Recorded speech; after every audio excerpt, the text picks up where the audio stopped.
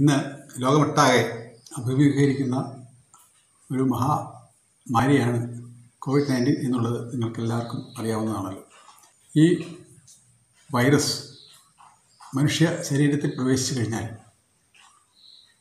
ശരീരത്തിലെ ദഹന ശ്വസന ചക്രമണ വ്യവസ്ഥകളെ അഥവാ ഡൈജസ്റ്റീവ് റെസ്പിറേറ്ററി ആൻഡ് സർക്കുലേറ്ററി സിസ്റ്റത്തെ വളരെയധികം ആഘാതങ്ങൾ സൃഷ്ടിച്ചുകൊണ്ട് മരണം വരെ ഉണ്ടാക്കി തീർക്കും എന്നുള്ള അവസ്ഥയാണ് ഇന്ന് കണ്ടുവരുന്നത്.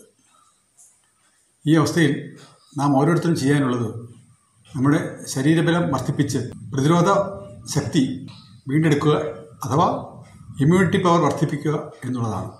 ചില വ്യക്തികളിൽ കോവിഡ് രോഗം ബാധിച്ചാൽ തന്നെയും വളരെയധികം ലക്ഷണങ്ങളൊന്നും തന്നെ പ്രദർശിപ്പിച്ച് കാണുന്നില്ല. എന്നാൽ മറ്റ് ചില വ്യക്തികളിൽ ശ്വാസമെടുക്കുവാനുള്ള ബുദ്ധിമുട്ട് ചുമ തലവേദന മുതലായ നിസാര ലക്ഷണങ്ങൾ മുതൽ ഹൃദ്രോഗം അപസ്മാരം പക്ഷാഘാതം മുതലായ മാരകമായിട്ടുള്ള രോഗങ്ങൾ വരെ എത്തിച്ചേരുന്നതായി കാണപ്പെടുന്നുണ്ട്. ഇവയാണ് പൊതുവെ പോസ്റ്റ് കോവിഡ് സിൻഡ്രം അഥവാ ലോങ് കോവിഡ് എന്ന് പറയുന്നത്. എന്താണ് പോസ്റ്റ് കോവിഡ് സിൻഡ്രം എന്ന് പരിശോധിക്കാം. കോവിഡ് പോസിറ്റീവായ രോഗികളിൽ ആദ്യത്തെ ലക്ഷണങ്ങളുടെ ആരംഭം മുതൽ മൂന്നാഴ്ചയ്ക്കപ്പുറം നീണ്ടു നിൽക്കുന്നതും മറ്റ് ഗുരുതരമായ രോഗങ്ങൾ ഉള്ളവരിൽ പന്ത്രണ്ടാഴ്ചയ്ക്ക് അപ്പുറത്തേക്ക് നീണ്ടു നിൽക്കുന്ന മർമ്മപ്രധാനങ്ങളായ ശരീര അവയവ വ്യവസ്ഥകളെ സാരമായി ബാധിക്കുന്നതും തദ്വാര മരണത്തിലേക്ക് വഴിപ്പെടുന്നതുമായ അവസ്ഥയാണ് പോസ്റ്റ് കോവിഡ് സിൻഡ്രം എന്ന് പറയുന്നത്. രോഗലക്ഷണങ്ങൾ ഓരോ വ്യക്തികളിലും വ്യത്യസ്തമായിട്ടാണ് കാണപ്പെടുന്നത് എന്ന് ഞാൻ മുമ്പ് സൂചിപ്പിച്ചിരുന്നല്ലോ.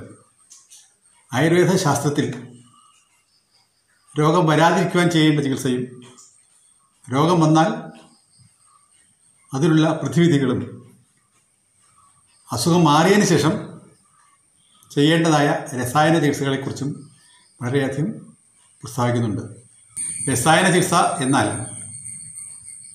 രോഗം കണ്ട് ക്ഷീണിച്ച ശരീരത്തിലെ രസധാതു രക്തധാതു മാംസധാതു മേധോധാതു അസ്ഥിധാതു മജ്ജധാതു ശുക്ലധാതു എന്നീ ഏഴ് ധാതുക്കളെ തിരിച്ച് കാര്യക്ഷമമാക്കുവാൻ വേണ്ടി ചെയ്യുന്ന ചികിത്സയെയാണ് രസായന ചികിത്സ എന്ന് പറയുന്നത്. അവ ശാരീരിക ഉന്മേഷം പ്രദാനം ചെയ്യുകയും അതോടൊപ്പം തന്നെ മാനസികമായി ഒരു വ്യക്തിയെ ബലപ്പെടുത്തുന്നതിനും വളരെയധികം സഹായിക്കുന്നുണ്ട്. രോഗത്താൽ ക്ഷീണിതനായിരിക്കുന്ന ഒരു വ്യക്തിയുടെ ആന്തരിക അവയവങ്ങളെ തിരിച്ച് പ്രവർത്തനക്ഷമമാക്കുവാൻ വേണ്ടി ആഭ്യന്തരവുമായും ബാഹ്യവുമായും അതായത് അകത്തേക്കും പുറത്തേക്കുമുള്ള ചികിത്സകൾ ആയുർവേദത്തിൽ വളരെയധികം പ്രചാരം നേടിയിട്ടുള്ളതാണ്. മൂവാറ്റുപുഴയിൽ സ്ഥിതി ചെയ്യുന്ന സമർത്ഥിക ആയുർവേദ ആശുപത്രിയിൽ ശാസ്ത്രീയമായ ആയുർവേദ ചികിത്സകൾ ഇപ്പോൾ ചെയ്തു വരുന്നു. പോസ്റ്റ് കോവിഡിന് വേണ്ടിയിട്ടുള്ള ചികിത്സകൾ വളരെ പ്രഗത്ഭരായ ആയുർവേദ ഡോക്ടർമാരാണ് നേതൃത്വം നൽകി വരുന്നത്.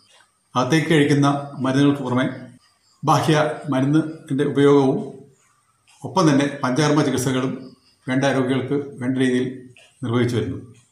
നന്ദി നമസ്കാരം. Stay safe stay healthy